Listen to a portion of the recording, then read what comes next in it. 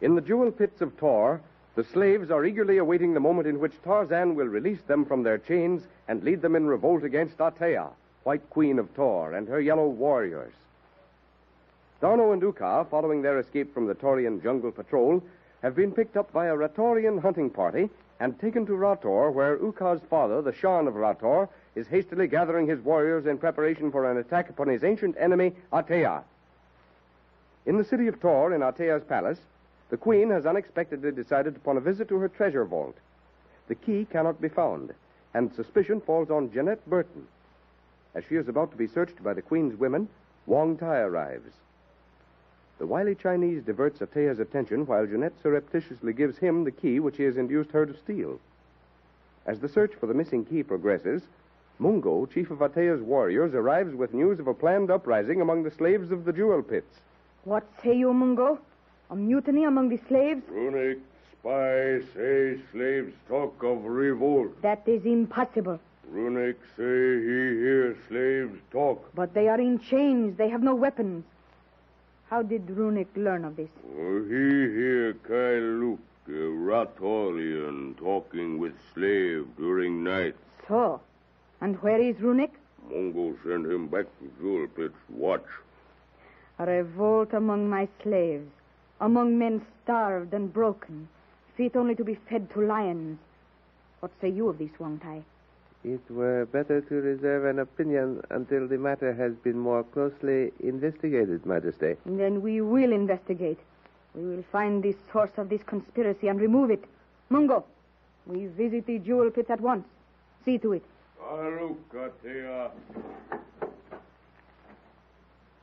This is ridiculous, laughable. A revolt among men who are beaten dogs. To counteract the plot, if plot there be heaven born, should not be difficult, with the assistance of our worthy ancestors. But were it not better to send for the Ratorian Kailuk and question him here in private? No. We shall go to the pits.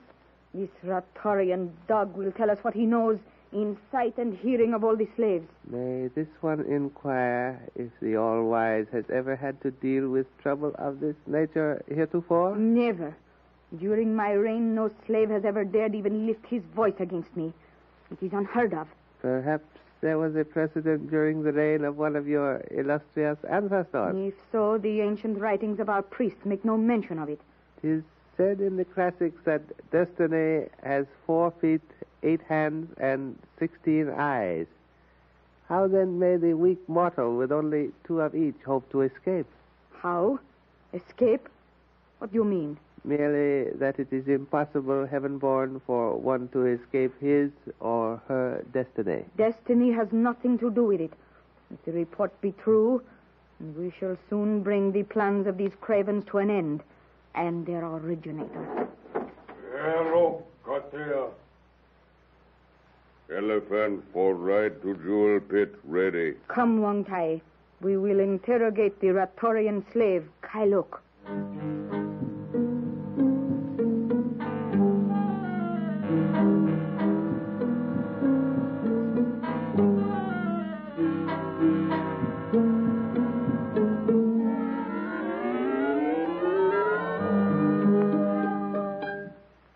Meanwhile, the distant city of Rator is filled with an atmosphere of eager, feverish excitement. With the continual arrival of small and large bands of elephant mounted armed Ratorians from outlying districts, the constantly growing camp beyond the city's walls hums like a hive of angry bees. In the council chamber of the Shan's palace, the huge yellow skinned Ratorian leader, surrounded by his chiefs, Uka and D'Arnot, lays his plans of attack before the council. Silence, my chieftains.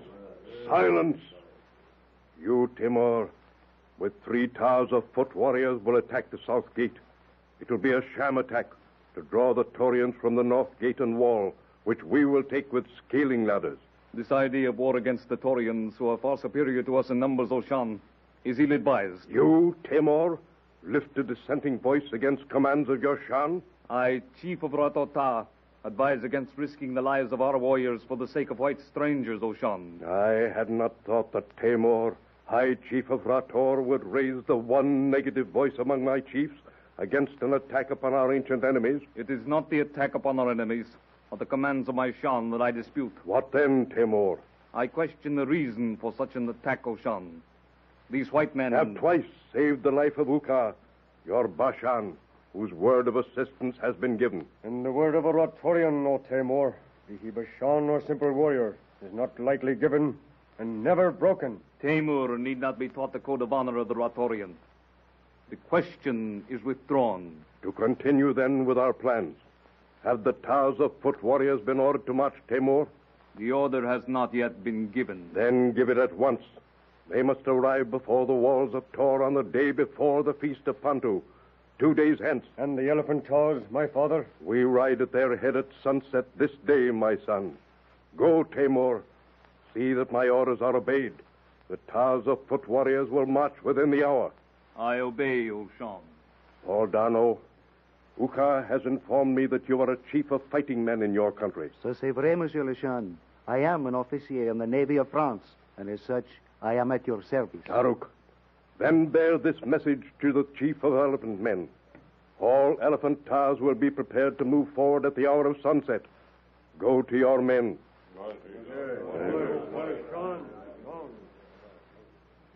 D'Arnot hurries from the great audience chamber toward the main staircase at the end of the corridor. At the head of the stairway, he pauses for a moment to gaze out over the city spread below him, its streets crowded with towers of marching Ratorians. About to descend to the palace court, the sound of voices speaking in English comes to him from a windowless casement in the corridor wall at his back. Puzzled, he turns to gaze into a small antechamber on the far side of which a half open door discloses part of the room beyond. Voices come from this room.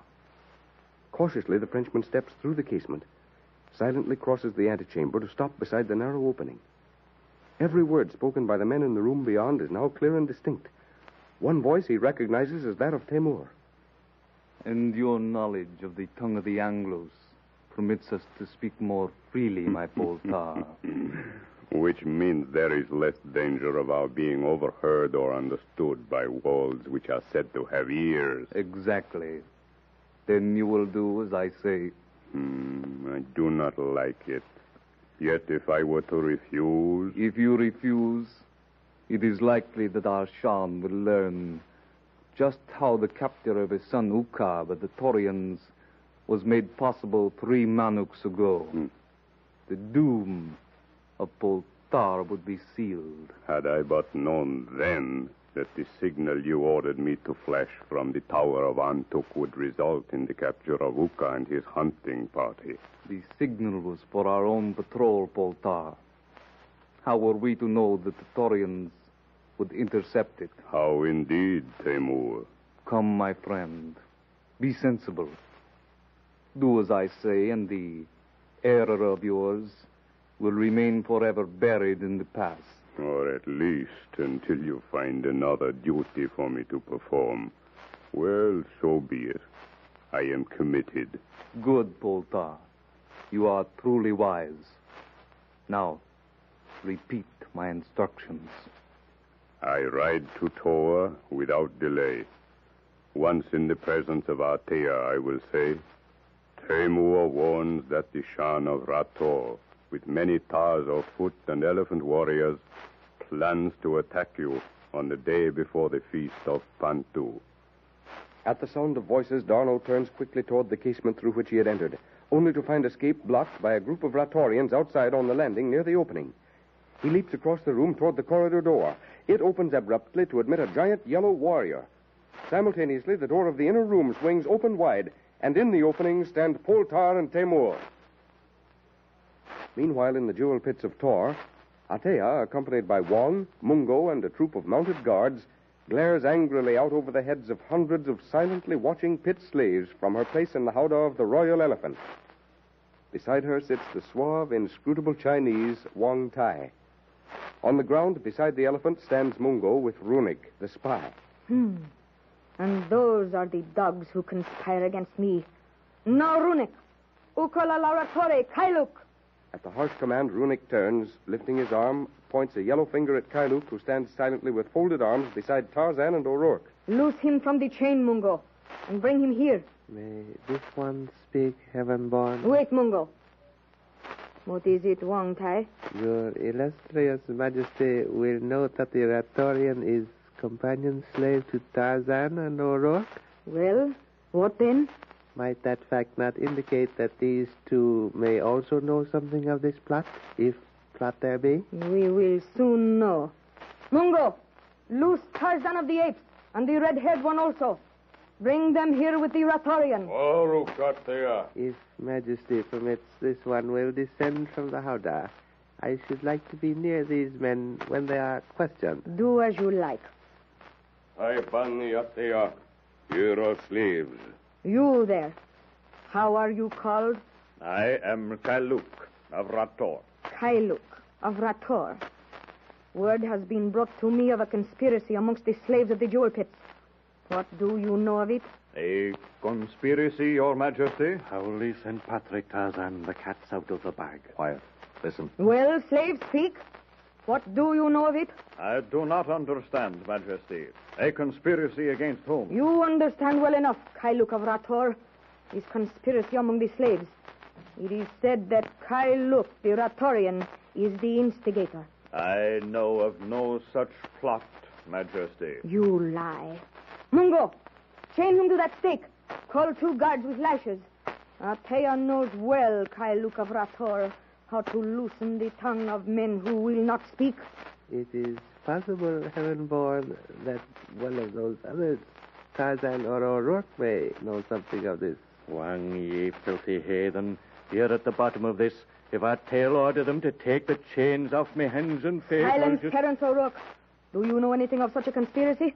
Me? Heathen? And how would I? I can't even understand the language. We waste time, Wong Tai. Mungo, is the Ratorian bound fast? Aruk, he is prepared. Then let the guards use their lashes until he speaks. Faster! Oh, oh.